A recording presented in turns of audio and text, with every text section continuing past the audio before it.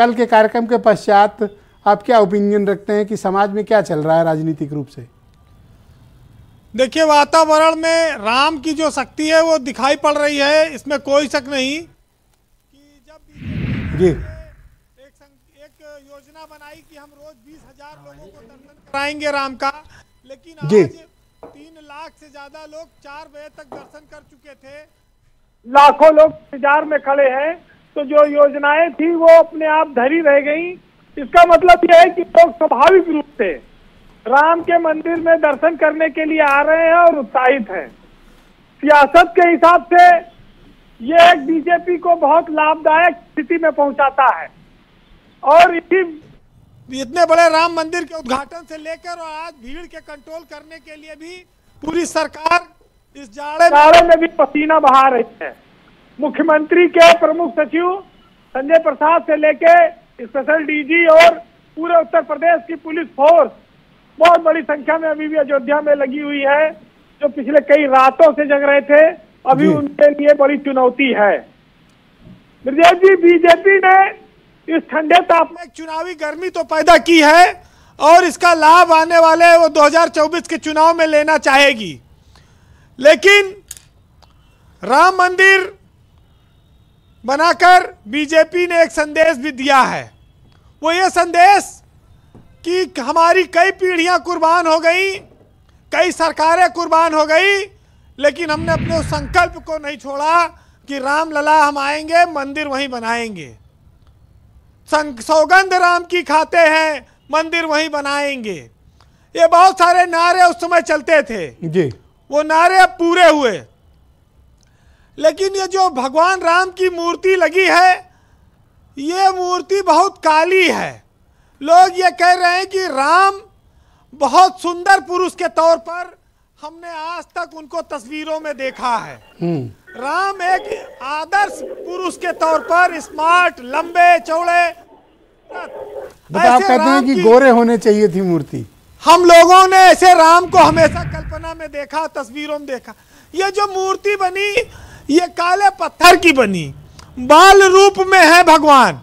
लेकिन मूर्ति अगर थोड़ी गोरी कर देते भाजपा वाले तो इनका क्या चला जाता? कोई बुराई नहीं थी। ऐसा लगता है कि दक्षिण भारत से ये मूर्ति प्रेरित है जैसे बहुत सारी मूर्तियाँ वहाँ पर हैं। लेकिन राम पूरी दुनिया के देवता हैं खाली दक्षिण भारत के नहीं उत्तर में उनकी एक सुंदर नौजवान पुरुष के रूप में उनकी पहचान है। तो ये बात थोड़ी सी एक मन में थी कई कई सारे लोग कही तो ये कुर्बानी जो दी गई थी अब उसको मूर्त रूप देकर भाजपा भुनाएगी तो है ही छोड़ेगी तो नहीं। क्योंकि राम मंदिर के लिए आंदोलन चलाया अडवाणी ने जोशी ने अटल ने सत्रह सत्रह किलोमीटर की लंबी भीड़ चली लोग घरों से पूरी सब्ज़ी बना बना कर कार सेवकों को देते रहे। तमाम बलिदान हुआ। तमाम सारी पीढ़ियों ने इसको अपनी आँखों से देखा। वो गुजर गई कि राम मंदिर की आस में पैंतीस चालीस साल मुकदमा चला। सजा हुई कल्याण सिंह जैसे लोगों को तमाम सारे लोग चले गए। लेकिन राम अब टेंट से निकलकर अपने भव्य मंदिर में आ गए हैं, विराज रहे हैं।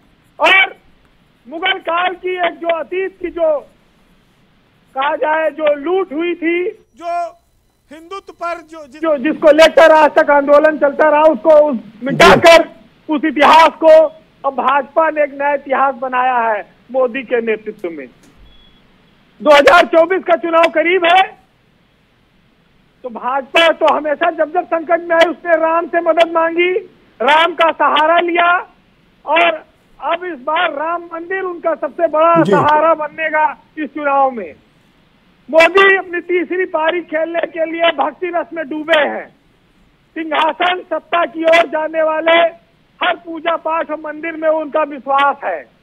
तो स्वाभाविक है कि इस राम मंदिर ने बीजेपी को बड़ी ताकत और संजीवनी प्रदान की है। जी।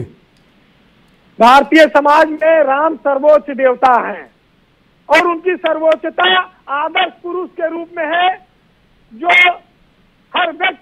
कुछ न कुछ प्रेरित करती है।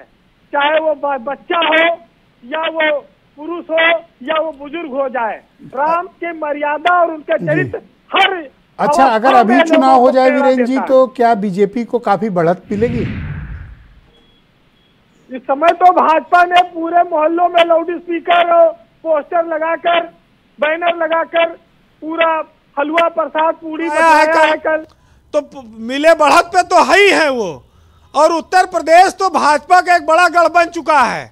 आसान नहीं है यहाँ पर बीजेपी को टक्कर दे पाना। जी। यही लिए तो इंडिया गठबंधन बंधन में बात हो रही मायावती आ जाए मायावती आ जाए।